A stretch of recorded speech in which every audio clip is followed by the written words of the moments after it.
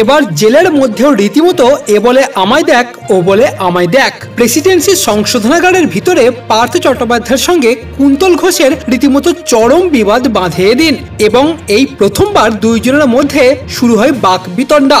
পার্থর অভিযোগ অহেতুক কুন্তল বারবারই তার নাম নিয়েছে, অথচ পার্থর দাবি তিনি কুন্তলকে চেনেনি না। কুন্তলের সঙ্গে এই নিয়ে ঝামেলা হয় পার্থ চট্টোপাধ্যায়ের। বৃহস্পতিবার প্রেসিডেন্সির সংশোধনাগারে পার্থ কুন্তল মুখোমুখি হতেই শুরু হয়ে যায় চরম বাক বিতণ্ডা। পরস্পরকে দোষারোপ করতে থাকে দুইজন, পরে জেল আধিকারিকরা এসে দুইজনকে সরিয়ে নিয়ে গিয়ে পরিস্থিতি সামাল দেয়। তবে উল্লেখ্য, নিয়োগ দুর্নীতি মামলায় কুন্তল একাধিকবার কেন্দ্রীয় এজেন্সির কাছে অভিযোগ করেছেন যে তিনি পার্থ পার্থর ঘনিষ্ঠর মাধ্যমেই টাকা পৌঁছে দিত পার্থ চট্টোপাধ্যায়ের কাছে। ফলে কুন্তল বারবার পার্থ চট্টোপাধ্যায়ের নাম নিয়েছেন, এদিন এমনটাই অভিযোগ করেছেন পার্থ।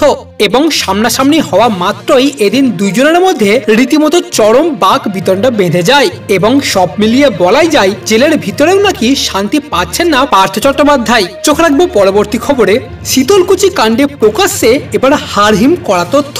নির্লিপ্ত কণ্ঠে খুনের কথা স্বীকার করে নিল খোদ খোদখুনি।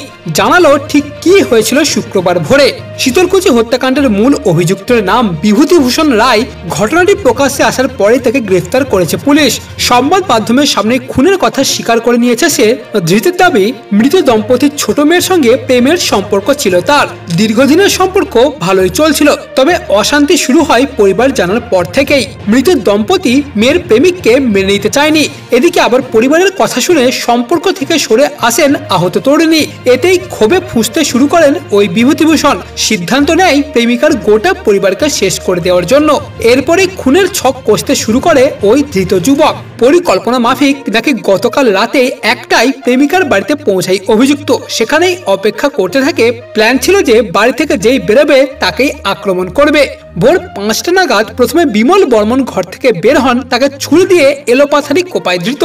ঘটনাস্থলে মৃত্যু হয় তার, এরপরেই হামলা চালায় মৃতের স্ত্রী নীলিমা দেবীর ওপর। তারপর আর্তনাদ শুনে দুই মেয়ে ঘর থেকে বেরোলে দম্পতির বড় মেয়ের সঙ্গে হাতাহাতি হয় বলে এমনটাই জানিয়েছে ধৃত।